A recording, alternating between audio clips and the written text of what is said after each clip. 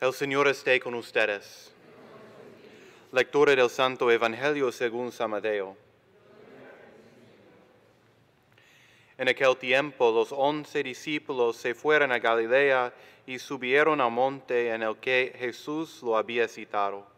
Al ver a Jesús se prostraron, aunque algunos titubeaban. Entonces Jesús se acercó a ellos y les dijo, me ha sido dado todo poder en el cielo y en la tierra. Vayan pues y enseñen a todas las naciones, bautizándolas en el nombre del Padre, del Hijo y del Espíritu Santo, y enseñándolas a cumplir todo cuanto yo les he mandado. Y sepan que yo estaré con ustedes todos los días hasta el fin del mundo. Palabra del Señor.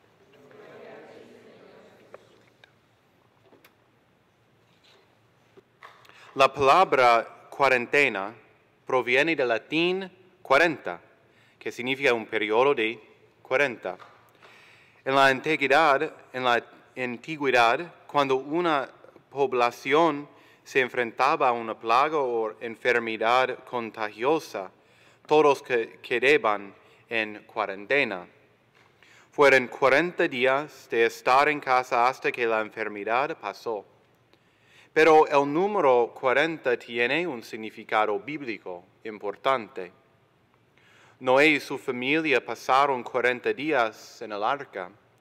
Moisés y los israelitas pasaron 40 años en el desierto. Jesús pasó 40 días en el desierto. Cada uno de estos periodos de 40 fue para un propósito diferente. Para Noé y su familia fueron 40 días de la purificación de la tierra. Para los israelitas que huían del Egipto, este periodo fue sobre la transición. En cuanto a Jesús, a cuanto a Jesús en el desierto, fue la preparación para su ministerio público. Purificación, transición y preparación. Cuarenta días después de la resurrección de Jesús, vemos los tres elementos en un solo evento.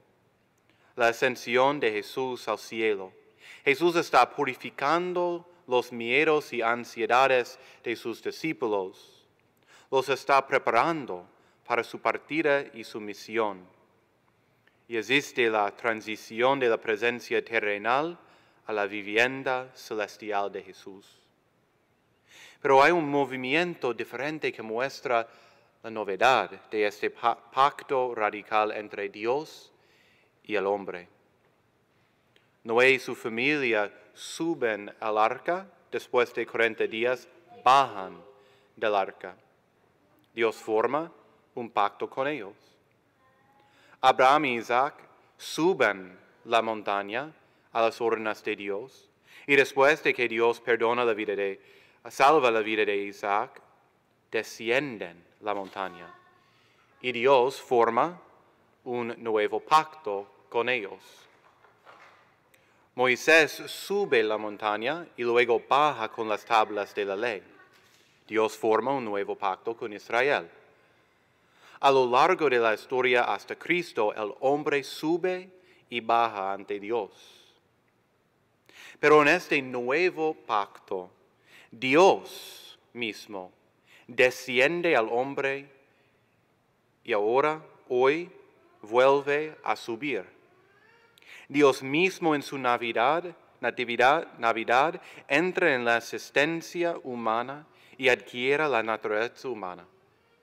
Está unido a nuestra naturaleza y en su, ascensión, su ascensión, regresa con su Padre, pero se lleva nuestra débil naturaleza humana con Él.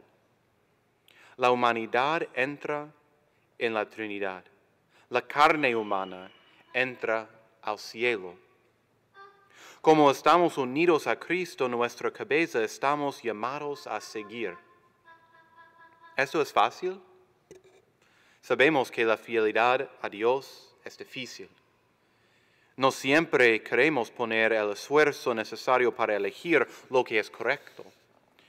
Es por eso que Cristo deja la presencia divina en medio de nosotros. Dios está presente en la Eucaristía, Dios está presente en la persona del Espíritu Santo, un misterio que celebramos el próximo domingo. Pero aquí está la parte del misterio que podemos recordar en estos días. Cuando Cristo lleva nuestra carne al cielo, es la carne la que conoce el dolor, la muerte, el hombre, el hambre, el hambre, el sufrimiento y la sed. Mientras se sienten a la mano derecha del Padre, su cuerpo aún tiene las marcas de las uñas y su costado todavía tiene la herida de la lanza. Nuestras luchas, dificultades, sufrimientos y dolor son conocidos por Dios de una manera real. No nos da la espalda cuando nos lastimamos o estamos tentados a alejarnos de Él. Por nuestro continuo sí a la voluntad de Dios, permanecemos unidos a la cabeza del cuerpo de Cristo y donde la cabeza se ha ido en gloria, esperamos seguir. Se ha ido a preparar un lugar para nosotros, así que vivimos, vivamos digno de esa vivienda eterna. En el nombre del Padre, del Hijo, y del Espíritu Santo. Amén.